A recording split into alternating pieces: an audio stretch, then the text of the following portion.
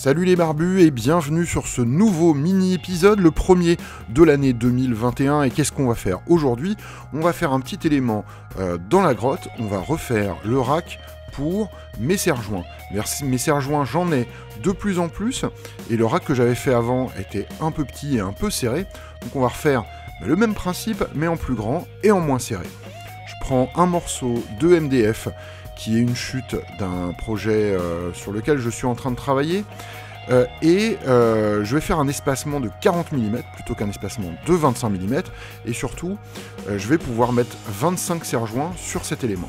Le principe est super simple.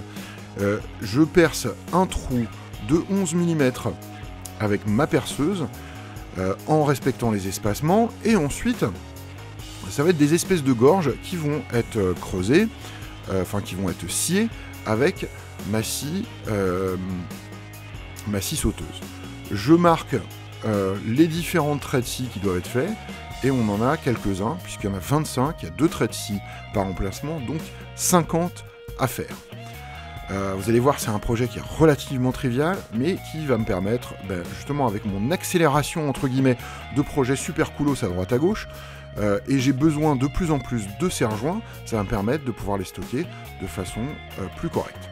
Alors bien sûr, j'ai mis une protection, j'ai mis bien sûr protection pour les oreilles, mais aussi pour les poumons, parce que la poussière de MDF, c'est vraiment extrêmement cracra. Et vu que j'ai 50 euh, découpes à faire, bah, de la poussière, je vais en faire un tout petit peu. Là, rien de bien compliqué non plus. J'essaye de suivre le trait, mais pas non plus de façon ultra précise. Parce que le but, c'est de pouvoir insérer la barre de chaque serre-joint dans son emplacement et le reste va permettre de tenir la tête du serre-joint.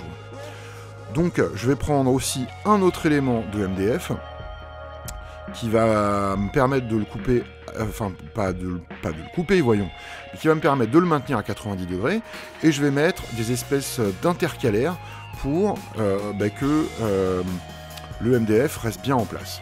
Alors ça c'est les petits trucs que j'ai fait qui sont super utiles, c'est euh, des petits éléments à angle droit qui me permettent de maintenir ma pièce avec des serre-joints.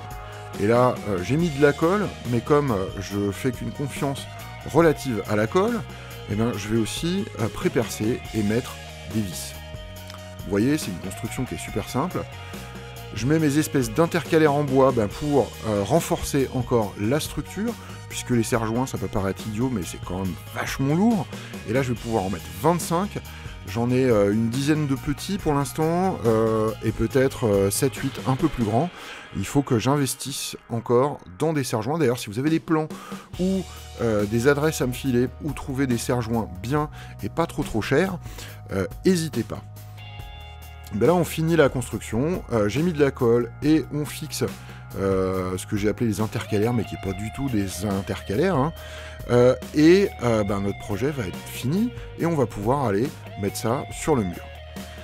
Donc ça prend un peu plus de place que l'élément que j'avais avant, mais c'est quand même vachement plus pratique pour mettre tous mes serre-joints. Alors ils sont en général classés par taille et par type, et voilà, un petit projet simple avec de la récup et qui va me permettre de stocker encore plus de serre-joints pour faire des projets encore plus fun. Euh, ben moi je dis c'est un total win euh, pour ce premier projet et mini-épisode de 2021. Bonne année à tous et à très bientôt dans la grotte du barbu